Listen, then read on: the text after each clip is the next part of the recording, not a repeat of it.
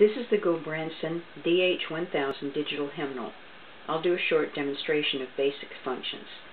It's self-contained with stereo sound, speakers, adjustable stand, and has thousands of songs from many different hymnals in its internal memory. When you want to play a song from the index, just choose Hymnal 9000, look up the song's number, and enter it in the unit or remote.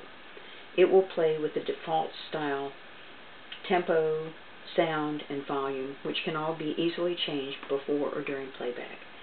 And it can be paused or stopped at any time or set for continuous play. Some advanced functions are accessed only through the remote. The unit can memorize a series of hymns, which can be played at the desired times. It can remember preferences for selected hymns, such as orchestration, style, number of verses, and whether to add an instrumental amen. Individual parts, soprano, alto, tenor, bass, can be soloed or played in various combinations.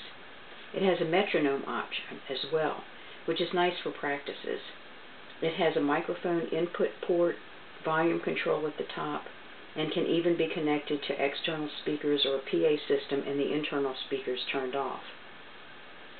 During the demo play, you can hear short bits of a few of the different choices of songs and styles. The blacklit, backlit LCD display will show abbreviations for the hymnal and hymn number, which verse is playing, the beat and tempo in beats per minute and chord. As you'll see by watching the display, some of these are constantly changing.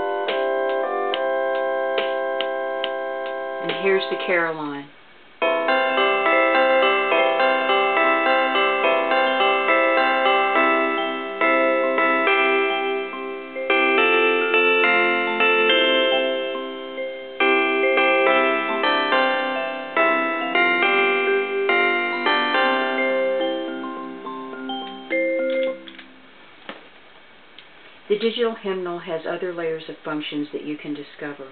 For example, you could balance the parts by setting hymn, say, 143 to style 2, select soprano, choose the brass sound and the volume, and then select alto and clarinet at a different volume, assign strings to tenor, and pipe organ to bass at different volumes.